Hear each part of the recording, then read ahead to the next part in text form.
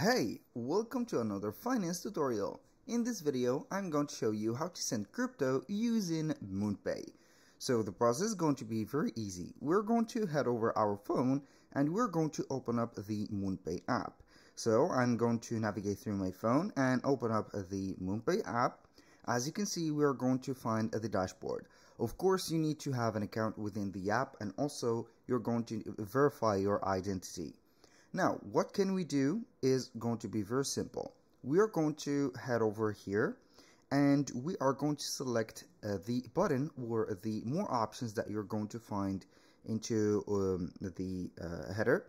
We have the buy button, we have the deposit button, and we have the more option button. We are going to click on more options and then we are going to click on send. Basically, this is how you're going to do that. Click on send and you're going to find normally the uh, cryptos or the assets that you are going to have into your wallet. Unfortunately, in my case, I do not have, but I can go ahead and buy and then we can go ahead and send. So how we can send that? So let's say that we have some uh, cryptos or some assets here and I want to send it.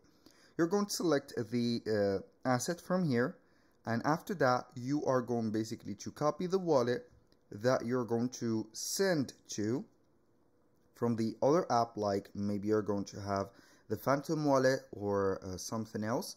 And then we're going basically to have the app uh, uh, code not the code but basically the wallet address. Like here I'm going to put receive and I'm going to choose one of the uh, specific as you can see uh, assets. Like I have here Bitcoin Ethereum let's say that we are going to have Ethereum, I can go ahead and have the QR code, which is not necessary in here, but we are going to have also the code. I'm going to copy it, and we are going to, when you click on send, you're going to paste the wallet address too. And then it is going to confirm the amount and also the uh, sending.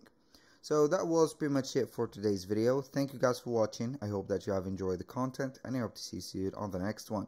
If you find this video helpful, please hit the like button and don't forget to subscribe.